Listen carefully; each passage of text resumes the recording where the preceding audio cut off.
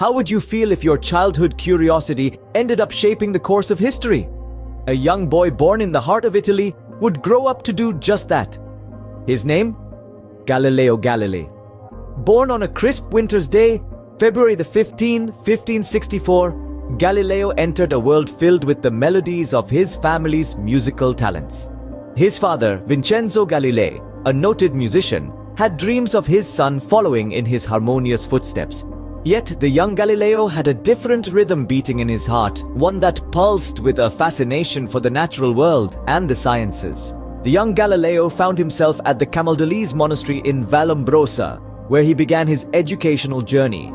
Initially, he dipped his toes into the field of medicine, but the allure of mathematics proved too enticing, drawing him into its complex and intriguing depths.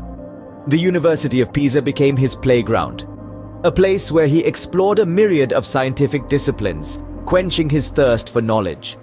Here, an incident with a swinging chandelier in the Pisa Cathedral sparked a moment of inspiration. Timing the swings with his pulse, he stumbled upon the concept of isochronism, the principle that the time taken for a pendulum's swing remains constant regardless of its amplitude. This fascination with motion was not fleeting, but rather it set the stage for his later revolutionary work in the field of physics. In 1589, Galileo's devotion to scientific exploration was cemented when he assumed the role of a mathematics professor at the University of Pisa. However, his unyielding support for Copernican heliocentrism, a theory that directly contradicted the widely accepted geocentric model, put him at odds with the Catholic Church.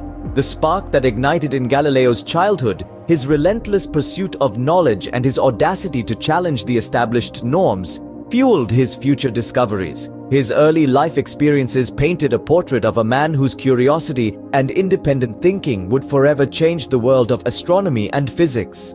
The boy from Pisa didn't just study the world, he transformed our understanding of it, proving that sometimes the stars we reach for are not above us, but within us.